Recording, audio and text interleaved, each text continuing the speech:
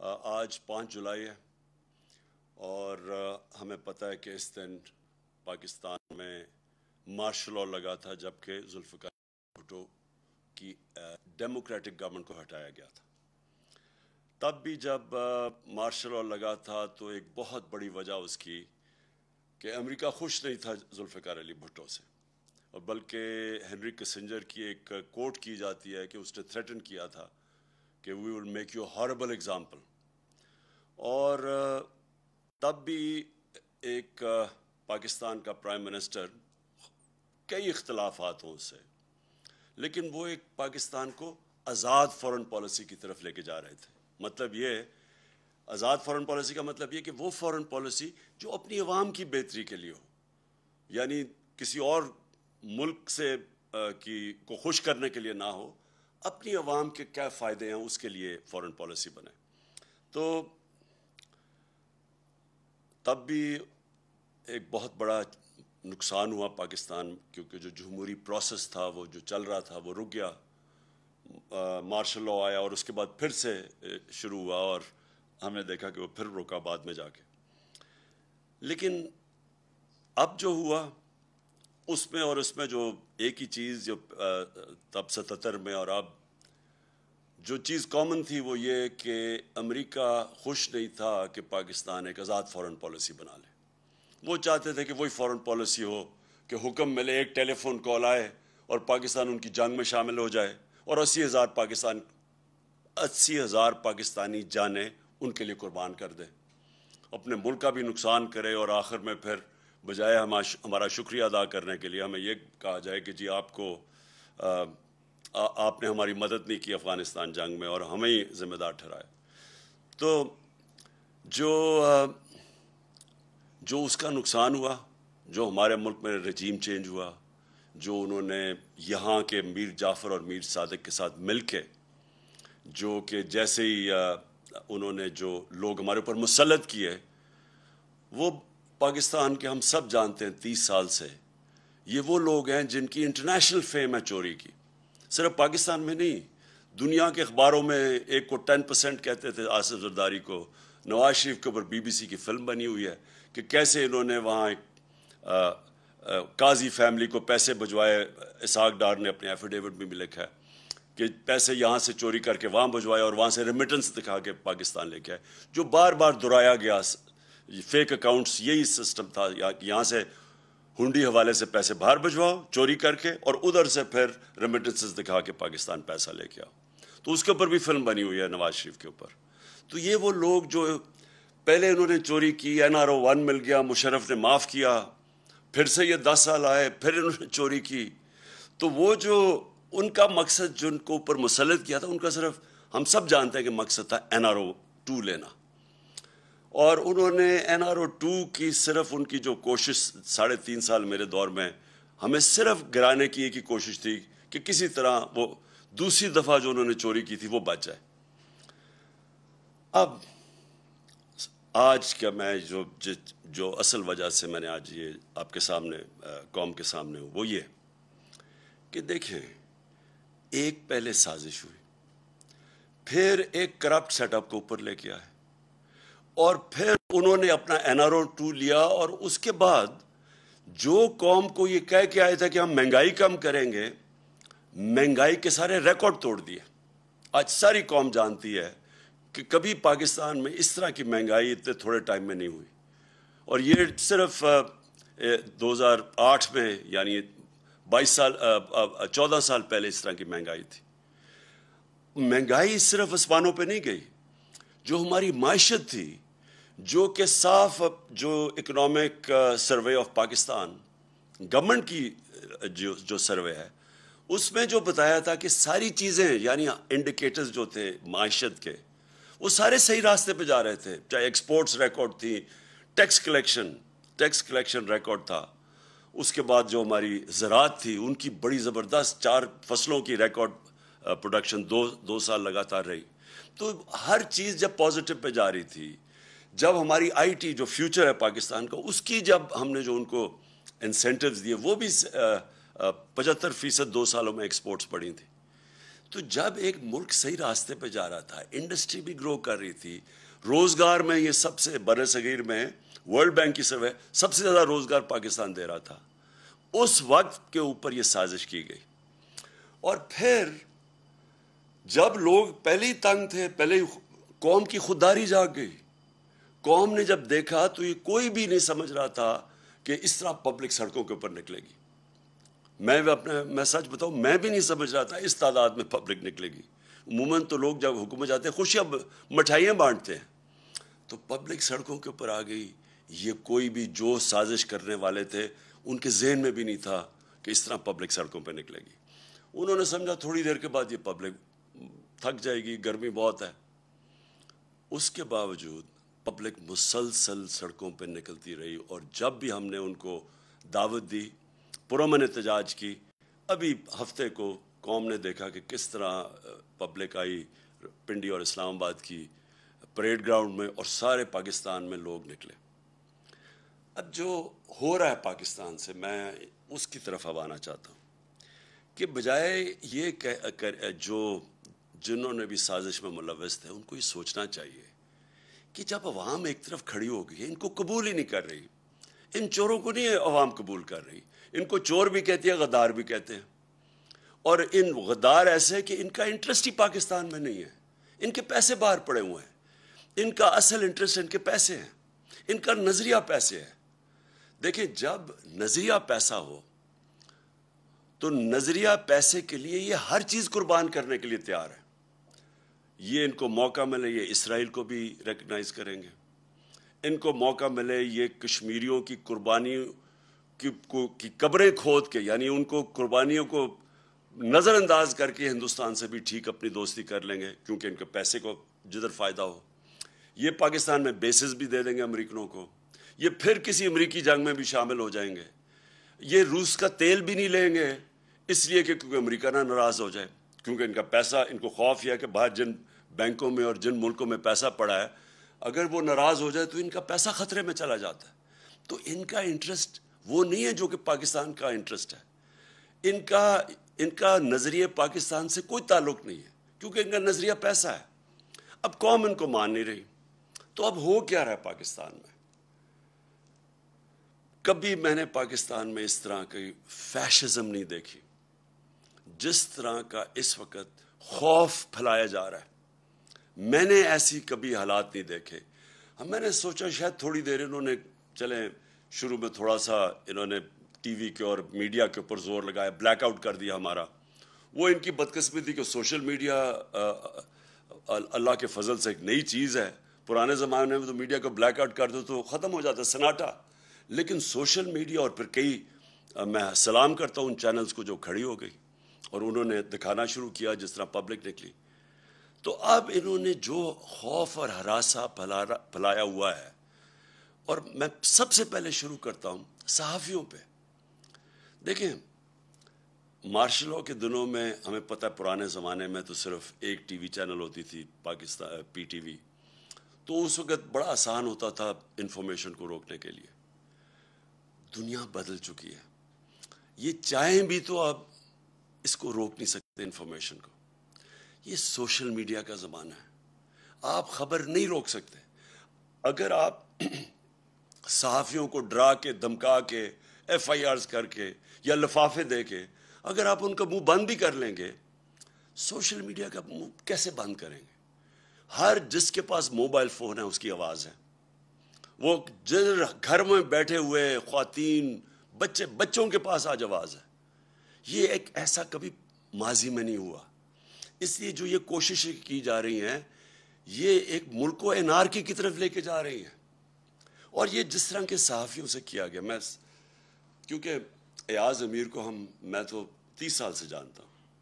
एयाज अमीर एक ऐसी आवाज़ थी कि सारा जो भी दानश्वर तबका है पाकिस्तान का, जो मीडिया में है, वो सारे एक चीज़ जानते हैं एयाज मीर की। एयाज मीर कंट्रोल नहीं हो सकता। वो अपनी ज़मीर की आवाज़ सुनता है। उसका लफाफा नहीं दे सकते आप। उसका, उसको वो एक नाडर, पढ़ा लिखा इंसान है। मेरी उसने बहुत तनकीद की हुई है माजी में, क्योंकि ज़्यादातर तो मज़ाक उड़ाते थे मेरी पॉलिटिक्स का। लेकिन मैं उसकी रिस्पेक्ट करता हूँ। और जो उसे किया गया एयाज अमीर से, उसकी उस उम्र में जिस तरह किया गया, ये हम सारी कौम के लिए, ये है शर्मनाक वाक़ और ये एक पैगाम दिया गया है। ये बाकी सहाफ़ियों को पैगाम दिया गया है। और फिर जो इमरान रियाज खान, देखिए, जो भी आप इमरान रियाज खान के मुतल कहें कौम उसको मुहब वतन पाकिस्तानी समझती है। उसको गद्दार नहीं समझती। उसकी यूट्यूब पे जो फॉलोइंग है, वो ऐसे नहीं है। लोग बेवकूफ़ नहीं हैं। आज जो चैनल आज जो सही इंफॉर्मेशन नहीं दे रही जो खौफ में या पैसे लेके, वो जब ये इन चोरों का साथ दे रही है, जो ऊपर हमारे मुसलत हैं, उसकी रेटिंग आज देखें किधर चली गई है। जो चैनल्स हक और सच के साथ खड़ी है, उसकी रेटिंग स्पान पे चली गई। क्योंकि लोग बेवकूफ़ नहीं हैं। एक बड़े दानश्वर ने एक दफ़ा कहा था कि थोड़ी देर आप सबको पागल बना सकते हैं। लेकिन सारा वक्त कोई भी सबको पागल नहीं बना सकता। तो अगर किसी का ख्याल है कि चैनल को पैसे दे के, लफाफों के ज़रिए डरा, धमका के आप इंफॉर्मेशन को कंट्रोल कर लेंगे और लोगों को धोखा दे देंगे, वो वक्त गुजर गया है। और मैं ये नाम लेना चाहता हूँ ये सहाफ़ियों के, क्योंकि मुझे मुझे बार बार जो चीज़ें सामने हमारी आई हैं। अब अरशद शरीफ, उसके ऊपर एफ़ आई आर कटवा दिए। अरशद शरीफ, जिस तरह उसकी फैमिली बैकग्राउंड है, फौजी बैकग्राउंड से। वो सारे जानते हैं अरशद शरीफ, उसका भी कोई कीमत नहीं है ज़मीर की। उसको जिस तरह हरासा किया जा रहा है कि उसका किसी तरह मुँह बंद हो जाए। साबर शाकर, वो मुल्क छोड़ के चला गया। तो साबर शाकर को कोई आज से तो नहीं वो सहाफत कर रहा है, बीस साल से कर रहा है। हम सब जानते हैं उसको। वो मुल्क छोड़ के चला गया। और और मैं, सभी इब्राहिम, उसके पीछे पड़े हुए हैं। जमील फारूकी नौजवान है, उसके पीछे पड़े हुए हैं। एक कोई बात कर दे, कॉल आ जाती है टेली, अननोन नंबर से, कि ये नहीं करोगे तो हम ये कर देंगे, नहीं तो एफ़ आई आर आ जाएगी। अदनान आदल, वो, और मैं आरिफ आरिफ हमीद भट्टी, मेरी बड़ी तनकीद करते आरिफ हमीद लेकिन आरिफ हमीद उसको धमकियाँ दी जा रही हैं कि तुम्हें हम ये कर देंगे।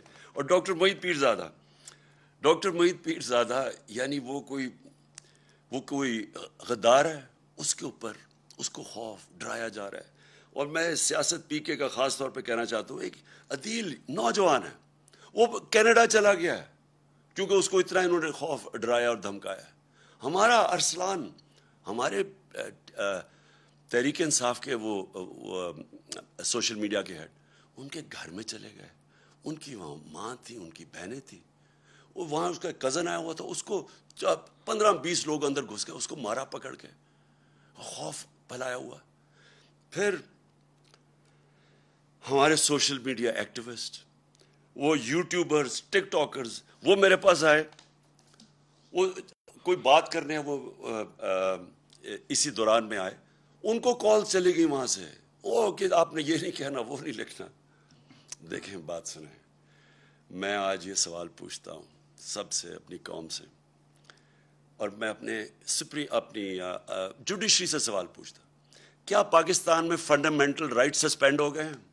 पहले बता दें क्या मार्शल लॉ लग गया यहाँ? कि ये कौन सी, क्या आइन इजाज़त देता है इन चीज़ों का? ये तो मैंने आपको गनाया है, मेरी जो अपनी पार्टी है, जो कैंपेन पे निकला हुआ है जो बीस हलकों में, वहाँ जाके जी, वो मौजम जो तो ये उसके ऊपर एफ़ आई आर काट दी। एक शराफत लड़का है, वो हमारी कैंपेन करा था, उसको, वो पैसे वाला आदमी है। चालीस हज़ार रुपए की चोरी के केस में उसको अंदर जेल में डाल दिया। वो वहाँ से निकला, फिर उसको जेल में पकड़ के डाल दिया जब वो उस एक केस में फारग हुआ। यानी ये क्या कोशिश हो रही है? मैं फिर से अपनी अदब से, अपनी अदलिया से पूछता हूँ कि क्या मुल्क में फंडामेंटल राइट सस्पेंड हो गए हैं? 25 तारीख को 25 मई को जब हम निकले एक पुरमन एहतजाज के लिए, और हमारी सारी तारीख है पुरमन एहतजाज की अभी जो सैटरडे को हम निकले हैं, कितनी पब्लिक निकली है? पुरमन एहतजाज में। लोगों को गुस्सा बहुत है। लेकिन जब एक पॉलिटिकल पार्टी पुरमन एहतजाज करती है तो ये एक मुल्क में क्यों से बचता है मुल्क। 25 को इन्होंने क्या किया? जिस तरह ही औरतों रात के दो दो बजे औरतें थी कोई एक सीन मेरे जहन में रहता है, वो एक दस साल की बच्ची और उसकी माँ और वो रो रही हैं खड़ी होके क्योंकि पुलिस वहाँ घुस गई। सुबह के दो बजे उनके घर। फिर एक ग्यारह साल के बच्चे को पुलिस पकड़ के लेके जा रही है, क्योंकि उसका बाप घर में नहीं था। क्या ये मकबूजा कश्मीर है? क्या ये फ़लस्तीन है? फ़लस्तीनियों से हो रहा है? कि कौन सी दुनिया में एक अपनी हुकूमत अपने लोगों से वो करती है, जिसकी कोई तारीख ही नहीं है? बताएँ, हमारी कोई तारीख है इंतशार की? हम हमेशा कानून के बीच में रहे हमने हमेशा कानून की हुक्मरानी पे चले हैं। हम जब फैमिलीज़ को बुलाते हैं, और आपने देखना जितनी खातन आती हैं और फैमिलीज़ आती हैं हमारे जलसों पे तो क्या वो इंतशार के लिए हम बुलाते हैं उनको? उनके ऊपर जिस तरह 25 को इन्होंने जुल्म किया, जिस तरह पाकिस्तान की पुलिस ने और रेंजर्स ने, जिस तरह लोगों के ऊपर टेयर गैसें की रबर बुलेट्स चलाई। आम लोग थे, शहरी थे, औरतें देख रहे थे सामने। बच्चे बेहोश हो रहे हैं, औरतें बेहोश हो रही हैं। जिस तरह लिबर्टी चौक में कौन सी क्या आ गई थी? वो लोग जमा हुए, वहाँ जाके उनके ऊपर शेलिंग कर दी। तो मैं, हम, हमने सुप्रीम कोर्ट को भी अप्रोच किया, हमें तो कोई रिस्पॉन्स नहीं मिला। तो मैं आज, सारी कौम के सामने एक बात कहना चाहता हूँ कि देखिए, ये जो टैक्टिक्स है ना फैशिस्ट खौफ फैला के, डरा के लोगों को, ये चोरों को हमारे ऊपर मुसलत करने के लिए मैं पहले तो सारी कौम को आज एक चीज़ कह दूँ। देखें, इस्लाम की तारीख में एक बहुत दर्दनाक वाक़ सबसे दर्दनाक वाक़ क्या था? हज़रत इमाम हुसैन की शहादत। वो क्या हुआ था? कोफा के लोग यजीद के जुल्म से डर के वो उनकी मदद करने नहीं आए। कोफा के लोगों को पता था कि हज़रत इमाम हुसैन राय हक पे हैं। उन सबको पता था। खौफ की वजह से उन्होंने इतना बड़ा इस्लाम की तारीख में सानिया होने दिया और वो सारी ज़िंदगी पछताए। तो मैं आज सारी कौम को कहना चाहता हूँ कि हर दौर के ये यजीद आते हैं और यजीद लोगों को ग़ुलाम ही बनाते हैं खौफ के ज़रिए, जो ये कोशिशें हो रही हैं। एफ़ आई आर मेरे ऊपर पंद्रह एफ़ आई आर कटी हुई हैं। हमारी सारी सीनियर लीडरशिप दहशत गर्दी के केस हमारे ऊपर किए हुए हैं। और ये सिर्फ़ एक वजह से कि हम कहीं डर के तो चुप करके बैठ जाएँगे। देखें मैं आज अपनी कौम के सामने ये कहना चाहता हूँ कि देखें मैं चुप हूँ जब से ये हुआ सब कुछ। मुझे तो सब पता है कि किसने क्या किया। मैं सिर्फ़ और सिर्फ़ अपनी कौम के लिए कि मैं चाहता हूँ मेरे मुल्क को नुकसान ना पहुँचे, मैं चुप करके बैठा हूँ। मैं कोई बात नहीं करता क्योंकि मुझे पता है किस तरह ये सारी साजिश हुई थी और कौन कौन मुलवस है। मैंने एक टेप भी एक एक वीडियो बनाई हुई है, महफूज जगह पर रखी है, कि अगर मुझे कुछ होता है तो वो भी पब्लिक को पता चलेगा कि कौन कौन कैरेक्टर्स ने क्या क्या किया ये जो मुल्क को, इस मुल्क से जो इतनी बड़ी गद्दारी की है, वो किस किस ने की है। लेकिन अगर इसी तरह हमें दीवार के साथ लगा दिया गया और इसी तरह ये हरासा किया गया तो मुझे, मैं मजबूर होऊँगा, फिर मैं बोलूँगा, मैं फिर सब कुछ कौम के सामने रख दूँगा कि क्या हुआ। ये जो लाहौर का, ये जो इस वक्त पंजाब का इलेक्शन हो रहा है, जो हरकतें की जा रही हैं वहाँ, पहले तो मुझे ये बताएँ कि इसका, ये हमज़ा शरीफ, ये दो, सवा दो महीने से इसका फैसला क्यों नहीं जल्दी हुआ? हमारे फैसले तो रात को अदालतें खुल जाती हैं, चौबीस घंटे में दो दिनों में फैसले हो जाते हैं। ये दो महीने में फैसला नहीं हुआ कि क्या ये एक आइनी तौर पे वज़ीर, अला बन भी सकता था या नहीं? वो और बात है कि इन दोनों को अंडर ट्रायल थे, कभी इनको इजाज़त ही नहीं देनी चाहिए थी। इनको तो पेपर रिजेक्ट हो जाने चाहिए थे। इनके तो एफ़ आई में सोलह अरब रुपए के केसेस थे। पहले तो उनको इजाज़त दे दी। उसके बाद जाके जब वो, जब डिस्कालीफाई कर दिया सुप्रीम कोर्ट ने तो उसके बाद कैसे ये रह गया इतनी देर वज़ीर आला? और वहाँ वज़ीर आला नहीं। जिस तरह ये पुलिस का इस्तेमाल कर रहा है, जो ये हरासा कर रहा है जो ज़रा पंजाब के अंदर इस वक्त जो बाई इलेक्शन में जो हर जगह से आवाज़ें आ रही हैं कि पूरी तरह इंतज़ामिया मुलविस है इनको इलेक्शन जिताने के लिए। इलेक्शन कमीशन क्या ये तरीका है कि इलेक्शन कमीशन को साथ मिला लें एडमिनिस्ट्रेशन को साथ मिला लें? और क्या ये इलेक्शन है मुल्क में? जो सिंध का लोकल गवर्नमेंट इलेक्शन हुआ है, ज़रा सिर्फ़ तफ्तीश करें इंडिपेंडेंट लोग जाके कि अंदरून सिंध में हुआ क्या? है पंद्रह फ़ीसद लोगों ने क्यों नहीं क्यों नहीं खड़े हुए? पंद्रह फ़ीसद लोग खड़े ही नहीं हुए अन अपोज जीत गए। पता तो चलवाएँ कि कैसे पुलिस का इस्तेमाल हो। कितनों के ऊपर एफ़ आई आर कटवाई कैसे दहशत फैलाई वहाँ? तो ये तो कोई जमहूरियत नहीं है। ये तो एक बिल्कुल ही फैशिज्म की तरफ़ जा रहे हैं कि करप्ट पहले आप गलती करते हैं, एक एक एक साजिश के अंदर शिरकत करते हैं, एक बाय बैरून मुल्क की। फिर चोरों को ऊपर बैठा देते हैं। वो मुल्क को तबाह कर देते हैं। माशत का और माशत नीचे और महँगाई ऊपर। और फिर उनको ऊपर मुसलत करने के लिए सारे इदारे तबाह करते हैं मुल्क के। सारे डेमोक्रेटिक इंस्टीट्यूशन तबाह करते हैं। इलेक्शन कमीशन को, इंतज़ामिया को, इनको सारों को इस्तेमाल करते हैं इनको पावर में रखने के लिए। मेरी दरख्वास्त है अपने सारे मुल्क के इदारों को, अपनी कौम को, कि ये एक फ़ैसला कन वक्त है। यहाँ अगर हमने किसी वजह से, मैं कौम को अब कह रहा हूँ, खौफ के बुत के सामने झुक गए तो ये आगे ये चोरों का, ये वो करेंगे उस मुल्क के साथ कि ये याद रखें कि ये तीस साल से दोनों पार्टीज़ पावर में हैं, तीस साल से। इनके होते हुए, आपको पता है कि अस्सी की दिहाई में पाकिस्तान सारे बड़े शरीर में सबसे आगे था। नब्बे की दिहाई में जब से ही आए हैं, हमारे आगे, हमारे हिंदुस्तान भी आगे निकल गया। बांग्लादेश भी हमारे से आगे निकल गया। कुछ हम हैं, हम तो पाकिस्तान के साथ बड़े। कोई तस्वर ही नहीं कर सकता था कि बांग्लादेश पाकिस्तान से आगे निकल सकता है। मैंने वहाँ जाके मैचेस खेले हुए हैं अस्सी की दिहाई में। कोई सोच भी नहीं सकता था, आज बांग्लादेश भी आगे निकल ये इन दोनों की खानदानों की वजह से, जिनको वापस मुसलत किया गया।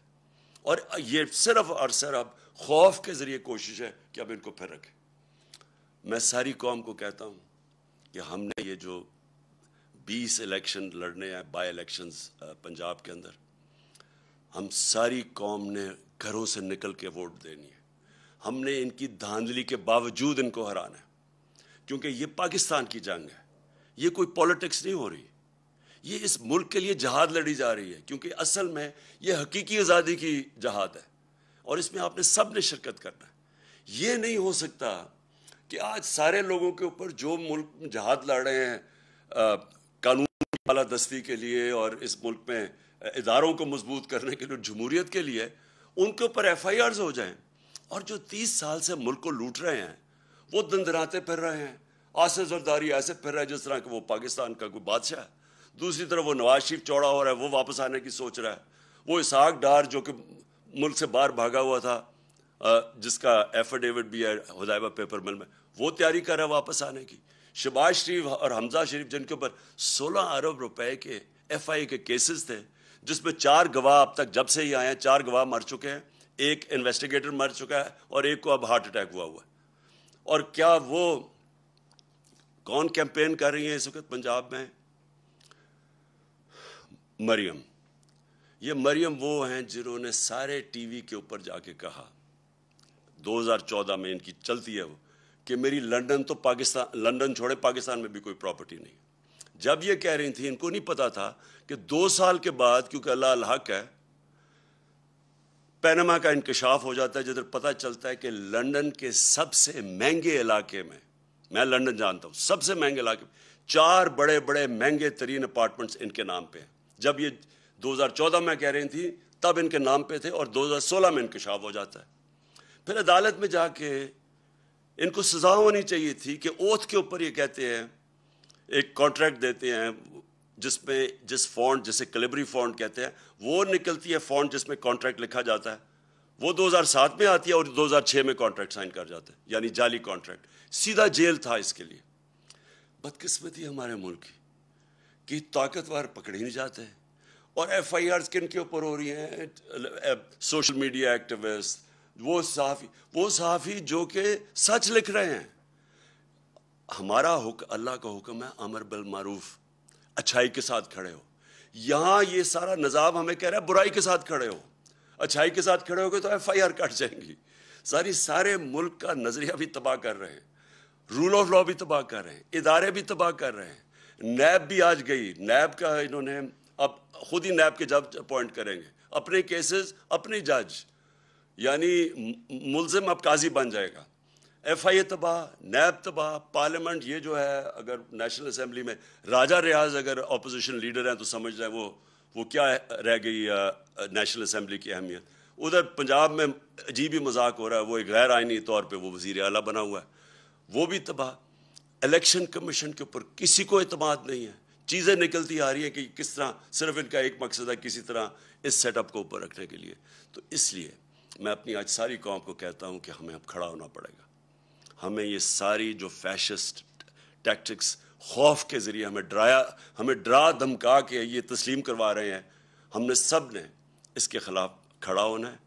और सबसे पहले हम, हमने ये जो 20 बाई इलेक्शन हैं पंजाब में इन उनके अंदर हमने इनको धांधली के बावजूद शिकस्त दे के और इन उसके बाद हमारा जो एक ही तरीका पाकिस्तान को इस मुश्किल वक्त से निकालने का वो है साफ़ और शिफाफ इलेक्शंस पाकिस्तान पाइंदाबाद.